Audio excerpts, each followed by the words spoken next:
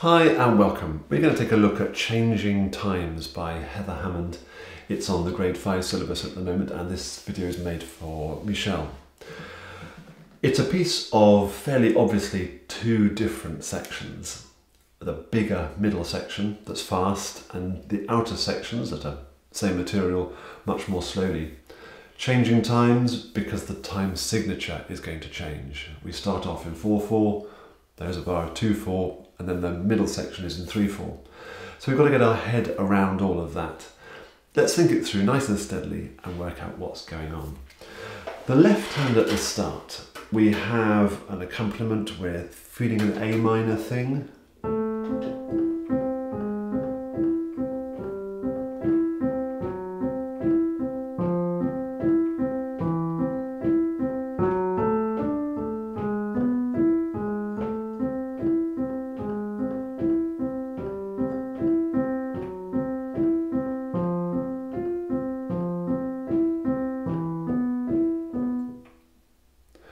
it's like a wheel just keeping the whole momentum going and it provides a stark contrast with the rhythm complexities that we're about to have.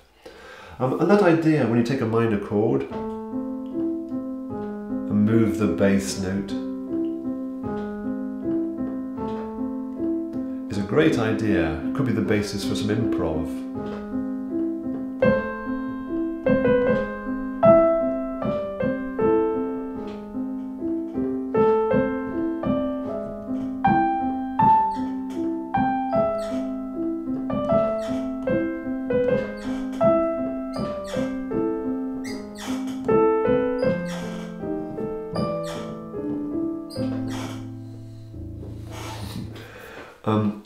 Key. Great material for um, noodling on. And then the right hand that Heather Hammond has written over the top starts to involve a little bit of syncopation, that feeling of off the beat stuff that is such a big part of the, um, the central section of this piece. Let's just hear it through. I'm going to keep a rock steady pulse in my head. I'm going to count aloud, in fact. Counting aloud is really good practice. It's tricky. Perhaps take it in small chunks. Let's try the first two bars. One, two, three, four. One, two, three, four. One, two, three, four. And that obliges me to work out what note fits on the beat, what note is just after the beat. Same bit. Two, three, four. One, two, three, four. One, two, three, four. Next bit. One, two, three, four. One, two, three, four. Count it. Try with your metronome as well. Just get that clicking, take it apart. And then when it comes to putting them together, what marries up with what? No pedal for now.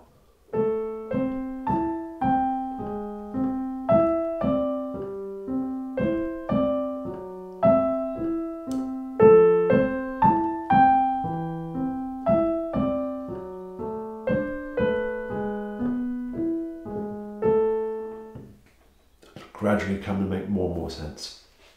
Bar 8, we have an acciaccatura with a line through it, grace note, and I think that will be before the beat, so that the E flat lands with the F.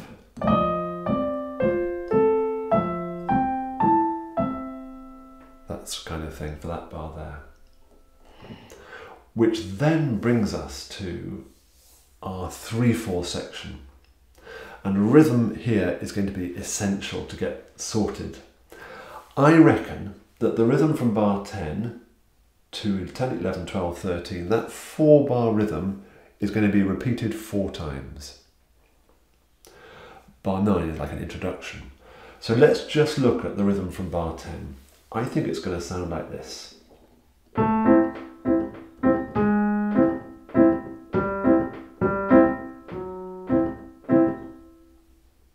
Let's take it apart. Let's now play that same rhythm just on a single note. Let's take a C. One, two, three. Mm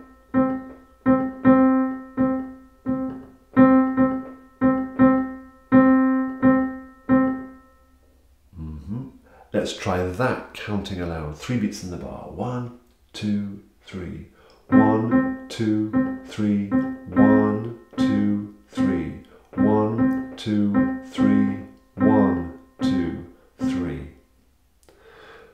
precursor to that, can I feel the pulse? One, two, three. One, two, three. Can I feel the gap between the pulse? One, two, three, one, two, three. So gradually build that up. Then you will see that bar the rhythm, as I said, those four bars, is then repeated many times to create that accompaniment. The melody at the top, let's just hear it from bar 10. One, two, three,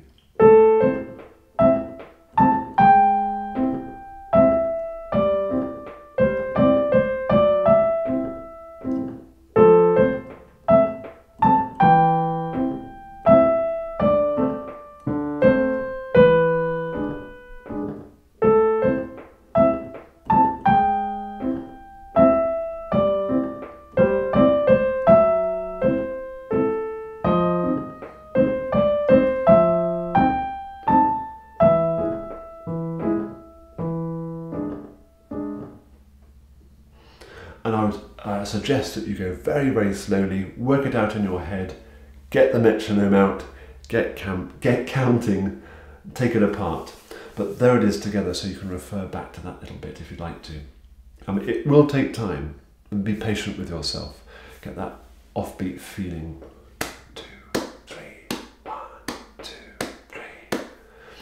Let's look at the next section now from bar 26. We have a sequence. It's going to sound like this. One, two, three. So the right hand, got to hold on to those lower notes if you can. Well, do hold on to those low notes. Two, three. Much smoother section this, isn't it?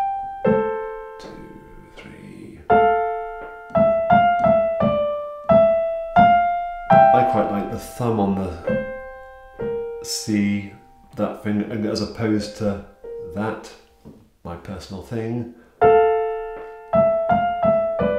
Two, three. I quite like, I think, four and two on that chord instead of what's marked.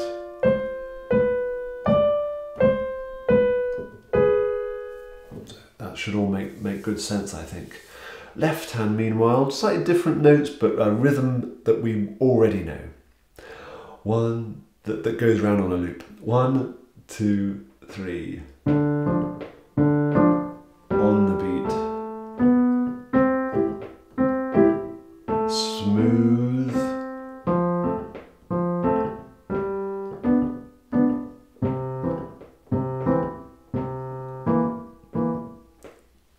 On it goes. Let's put them both together. More lyrical this section, I think. One, two, three.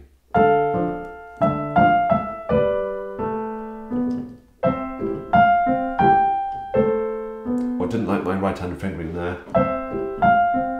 because it didn't get me ready for that. So yeah, we do need three and one there.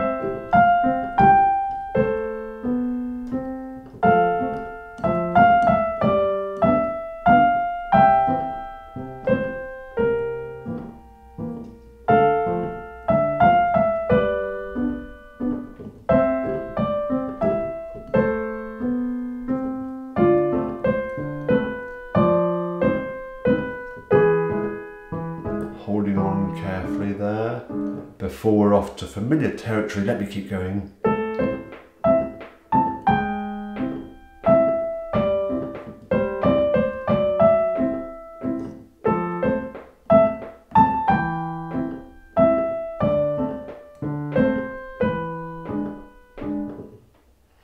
And I would absolutely get my metronome out to work through that bit. Let me do that for you now. Um, we were doing a pulse of one, two, D, do, do, do. Keep tapping, it says.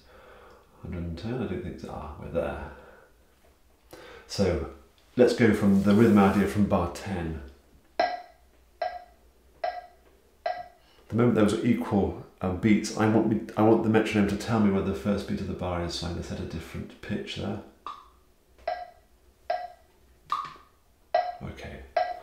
One, two, three.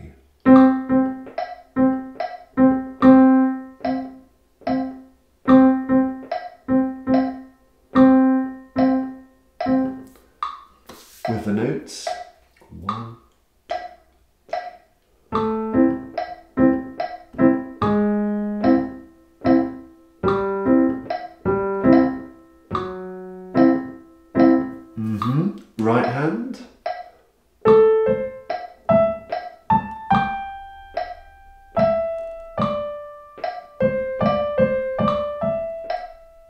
Mm-hmm. Both together.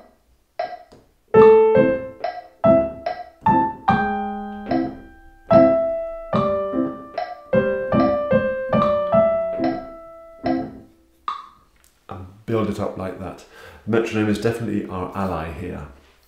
And the final section we will recognise, let's just think it through, I don't think anything will crop up, back to the original tempo of the first section, which is of course is slower.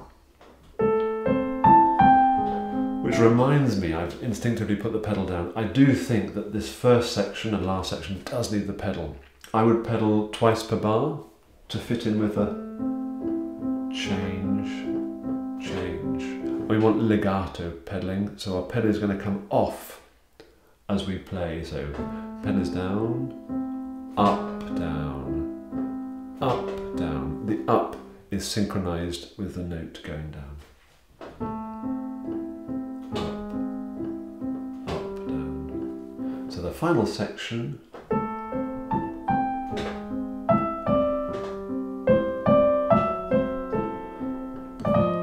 So the E flat is with the F.